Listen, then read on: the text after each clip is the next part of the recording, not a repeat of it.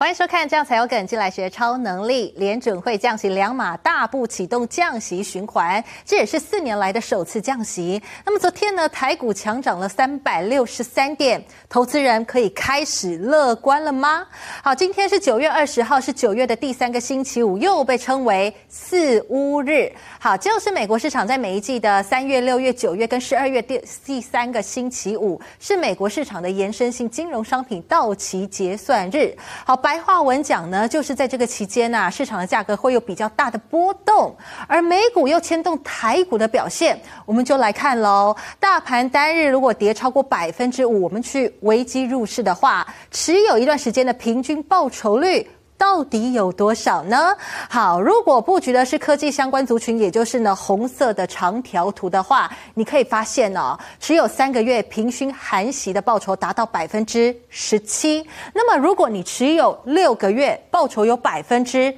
四十六，那么持有一年的话，报酬率更来到了百分之八十九。那么反观大盘指数，也就是你看看蓝色的这一条哈，持有三个月的话呢，其实哦只有百分之九点八七。那么如果持有六个月的话，平均的报酬是来到百分之二十五点七七。那么持有一年的话呢，是可以达到百分之四十八点一七。所以。选对趋势，用最少的钱把资金放大，而且你的风险控管还要到最好，这通通考验着投资人的功力。而就在昨天呢，Fed 利率决策会议公布要降息两码，那美股也将在呢今天迎来四乌日，台股到底该怎么操作呢？把时间交给分析师温伟杰，请说。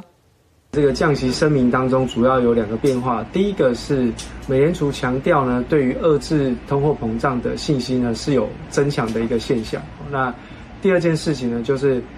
美联储关注的这个重点开始从这个通货膨胀的数据转向了就业市场的一个数据的观察。好，那在这一次呢七月当中的利率决策会议的声明稿当中，也有特别提到，就是。实现就业跟通货膨胀的目标呢？这边的这个风险也其即将趋向平缓。那所以呢，在这个部分呢，代表说后续美联储在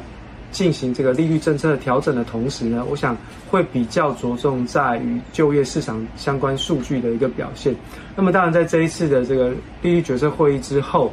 对于台北股市的影响上面来说呢，大概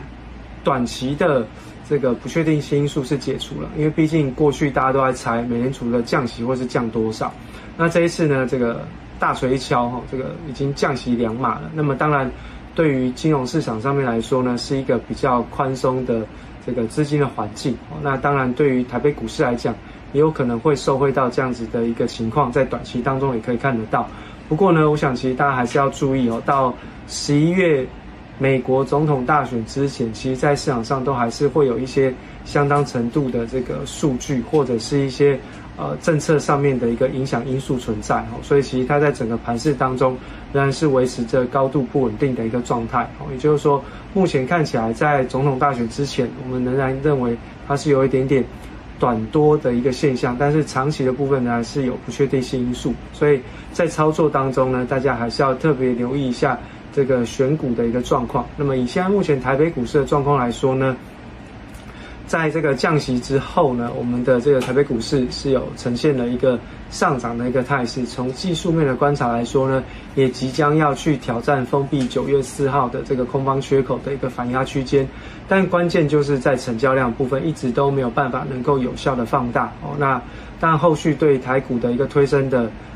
领先指标上面来观察，成交量能不能够放大到至少三千亿以上，去进行推升哦，是一个比较重要的观察指标。另外呢，就是在外资的态度上面，能不能够看到外资在现货有一些持续回补的力道？另外呢，能够在期货的净空单的布局上面有所放缓。只要能够看到外资在现货跟期货部分有一些哦，这个从保守转向一些。呃，偏多方的一个操作模式呢，大概也可以看得出来，在台北股市的部分有比较好转的现象，甚至在波段上面都可以有些期待。那么，当然在结构的部分，我们看到台积电跟金融股的这个撑盘，其实是非常关键的一个呃这个结构哈。那以现在目前看起来，台积电所带出来的这个呃设备概念股哦，是近期在台北股市当中的一个呃观察重点。不过在后续的半导体的产业当中，要特别留意的是 NVIDIA 在降息之后能不能够哦持续的有所表现哦，因为毕竟它是跟台积电合作最大的一个厂商。只要辉达的业绩跟股价哦都还能够持续的维持在一个比较亮丽的表现，对于台积电来说也会是一个重大的支撑。当然，对于台北股市来讲，也会是一个比较偏利多的一个因子的影响哦。那所以在后续当中呢，半导体产业的表现仍然是哦比较重要的这个产业类别。那唯一一个比较留意的这个利空的消息就是。进入到了第三季之后呢，全球的半导体营收也将迎来了周期高点的一个变化哦。那所以接下来进入到第四季，甚至到明年的上半年，都有可能会是半导体营收周期的一个下行区间。所以面对这样子的一个变化，可能大家也要特别留意手中的持股，